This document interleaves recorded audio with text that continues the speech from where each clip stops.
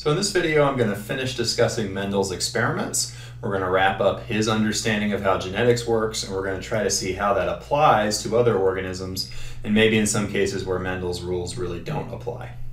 So, um, we can continue Mendel's studies by thinking about, I think I talked in the, in the previous video about different flower colors that he studied.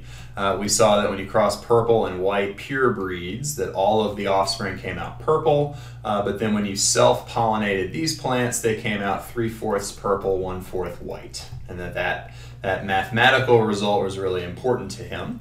He also studied that for other traits too. So maybe in some cases he studied uh, the seed shape, where maybe it comes out round or wrinkled. As it turns out, round was the dominant trait, and when he self pollinated the plants, three fourths came out round, one fourth came out wrinkled in that third generation.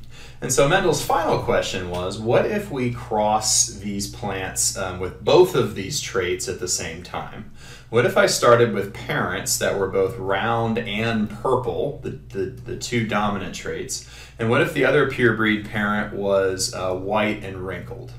Um, certainly those would pass on, and he kind of knew that the initial offspring would be purple and round. They would both show the dominant traits. But what he was really interested in is what happens if you self-pollinate that plant?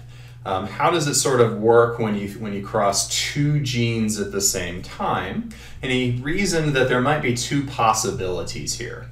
One possibility is that maybe the dominant alleles that came from that doubly dominant parent have to stick together. And so maybe if you kind of think about these results um, together, maybe you just get the same 3 fourths, 1 fourth result you got from the, the single gene experiments. So maybe just purple and round would continue to stick together, white and wrinkled would continue to stick together, but you'd still get that 3 fourths, 1 fourth result. Another possibility was that the two genes were completely independent of each other, and you might really mix up what you what those uh, doubly heterozygous organisms might pass on. And, and a way to think about what results you might get here would be to think about multiplying independent probabilities.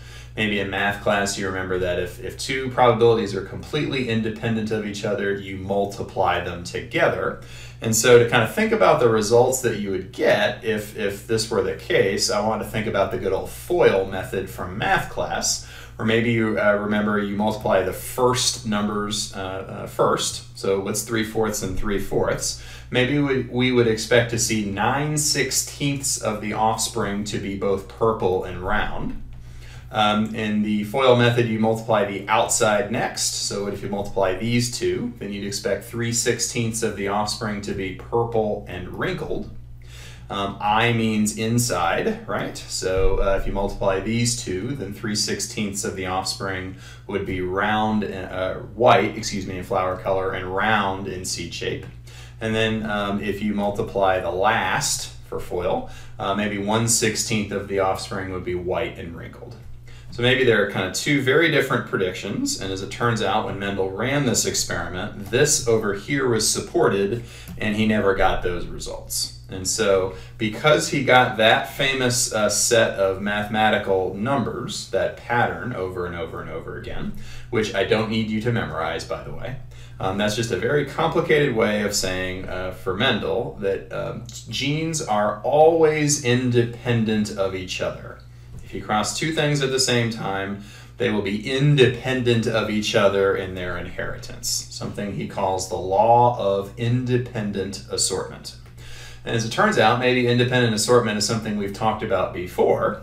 That's because when we later studied meiosis, the process of independent assortment helps to explain why two genes might be independent in inheritance from each other. So if the two genes are on different chromosome pairs, then the reason why they might split up an inheritance is because every time you line the chromosome pairs up to make gametes, you might line them up in different ways. Sometimes you might line them up to where dominants really do pass on together and recessives pass on together, but other times you might line them up so that they do not pass on together. And so, really, the, the process of independent assortment helps to explain why two genes are always independent of each other. Although I will say that that's only true if the two genes are on different chromosome pairs, If they're on the same chromosome pair, it gets more complicated, and we would talk about that kind of in a more advanced course. So, just to kind of finish, um, if all of these things are true, then Mendel's model of how genetics works is perfectly valid, not just for pea plants, but for any other species that sexually reproduces. So if there's just one gene causing the trait, two versions, one dominant over the other, and if you're thinking about two genes at the same time, as long as those two genes are on different chromosome pairs, then Mendel's rules apply and even for us humans. So, just to give kind of a simple example, I talked about sickle cell anemia, I think, in, a, in another video in the Genetics 1 unit. Um, but everything about how sickle cell anemia works in humans follows Mendel's rules. Um, and if you have potentially two parents that are carriers or are heterozygous, um, so they don't show having sickle cell themselves, but they get tested and we find out that they're heterozygous, then we can give them a prediction, just like Mendel would have, that you have a one in four chance of potentially having a child that actually has the disorder and shows it. And that's you know just as true for, for pea plants it is, as it is for humans. But as um, biologists studied other organisms, they found some other patterns, other traits that didn't quite follow Mendel's rules because they didn't give the results that he would have predicted. And I just want to go through kind of two basic kinds of exceptions. Um, the reason why most human traits don't work in Mendel's fashion, and so why we're mostly talking about pea plant traits and fruit fly traits and any kind of uh, problems that we give you.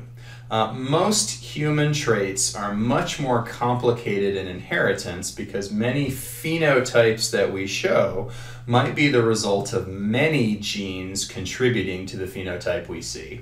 And so that's just a phenomenon we call polygenic traits or polygenic inheritance. Poly is just a root word meaning many.